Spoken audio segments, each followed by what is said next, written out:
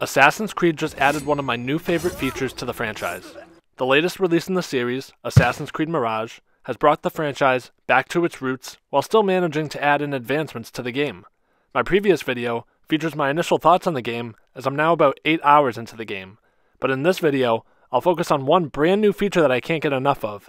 And I'm not talking about pickpocketing, even though I find myself stealing from every NPC when given the chance.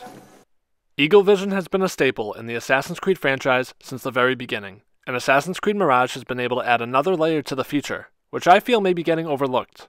For the first time ever, with Eagle Vision, we are now able to see enemy lines of sight, and what this does is it lets us know where the enemies are looking, but more importantly, where we can be without being spotted, which is crucial to stealth play.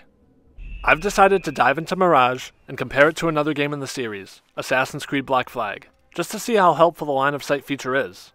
If you enjoy this video and other Assassin's Creed comparisons, subscribe to the channel and check out one of my previous videos where I compared all of the logos in Assassin's Creed history. I'll leave the link at the end of this video. Yes, let us catch our breath. So I'm going to start with Mirage, just to kind of show you what's different, what I like and really how this line of sight works.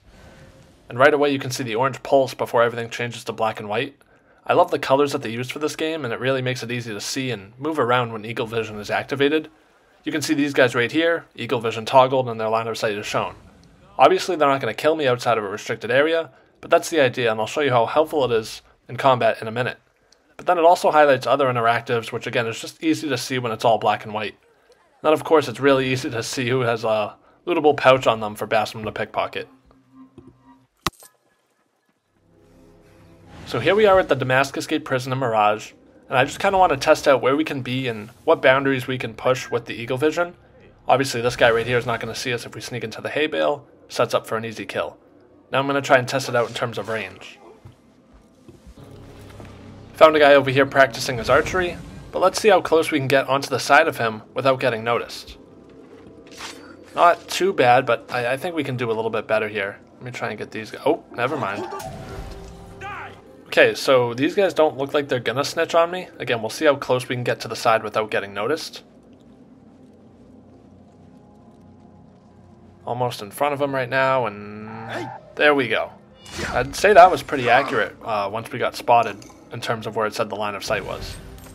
One more thing with Mirage before I get into Black Flag is this new feature within Eagle Vision called Assassin's Focus. I won't spend too much time on it, but I'll show you how it works since it is a part of Eagle Vision in the game. I think it's really cool, but I know a lot of players aren't a big fan of it from what I've read. Basically, you activate it, select your targets, and then Basim will basically teleport to the assassinations. The explanation behind this, from my understanding, is that the Animus can't keep up with how fast Basim is, and that's why it looks like he's teleporting. I think it's useful and fun since we don't have the double assassination anymore.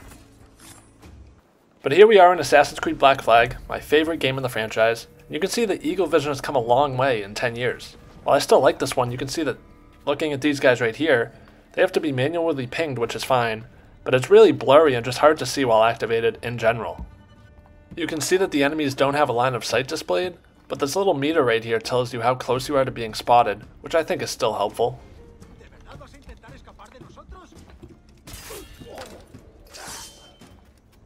So let's test this out a little bit, kind of like how we did in Mirage. Obviously we see the guy on the roof right here. We can get him a ping once we get Eagle Vision activated. I'm not too sure how he doesn't quite see me yet, but that's an easy kill for us. Same thing with this guy over here. You're able to ping from pretty far away in this game, which is nice. Gonna try and walk along beside him until he notices me. And finally, there it is. And again, just not as clear as Mirage in my opinion with their line of sight visible. We'll try this one more time here. Got a ping on another guy on the roof. Again, doesn't look like he sees me at all. Gonna jump down. And he didn't hear that. Easy kill. See if we can get a double kill on these guys right here. Another one. He was looking right at me. Somehow didn't see me standing right there. Try and get a double kill on these guys.